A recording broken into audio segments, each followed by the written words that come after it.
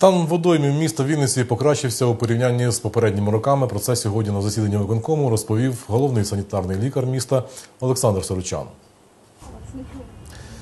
Після чотирьох рейдових перевірок впродовж травня та лабораторних досліджень, які провела санепідемстанція міста, було виявлено, що у порівнянні з попередніми роками вода в південному бузі стала чистішою.